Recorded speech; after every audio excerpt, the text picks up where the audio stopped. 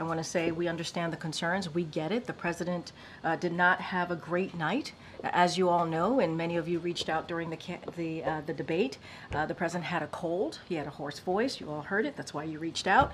You just reminded us that President Biden had a cold on Thursday. What medications was he taking in the days or hours leading up to the debate? And I can I know that question has come in a couple of times to us. He was not taking any cold medication. Was he taking any medication that would have interfered Uh, with his He was not performance? taking uh, any cold medication. That is what I can speak to. I've asked the doc, his doctor, and that's what he stated to us. Um, After the debate, did the president get examined by a doctor or did he get a neurological scan? A neurological scan? Look, um, what I can say is that, just to take a step back, it was a bad night. We understand that it was a bad night. Um, and the president has spoken to this. And he understands that.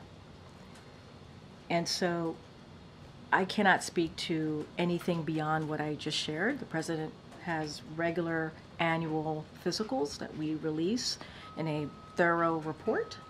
We're going to continue to do that. Uh, I don't have anything else beyond that. Is anyone in the White House hiding information about the president's health or his ability to do the job day to day? Absolutely not. Given the